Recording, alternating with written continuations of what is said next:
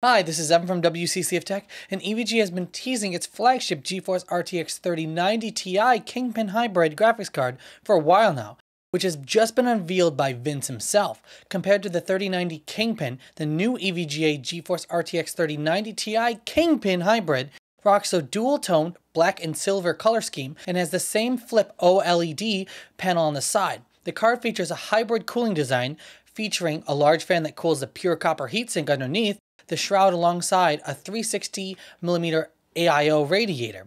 Its display outputs include triple DVI and a single HDMI output. What's interesting is the PCB shot for this GPU, which shows a new and updated design with gold traces and a new power management system. There's a triple BIOS that should feature normal, overclocked, and LN2 or liquid nitrogen profiles, while ProbeIt support all is also included, allowing you to analyze several GPU power metrics at once.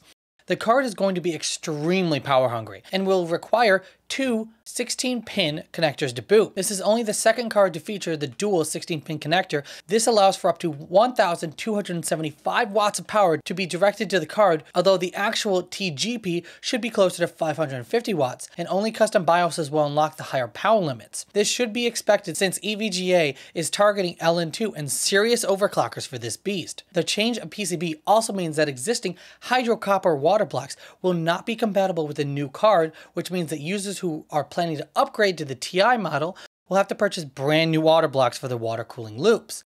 The card is expected to be priced at a very high premium over its already outrageous 1999 US price model of the reference model. But what do you think? Would you grab this card if it's in stock and a reasonable price? Let us know in the comments down below. And don't forget to subscribe and hit that bell icon for more fantastic tech news.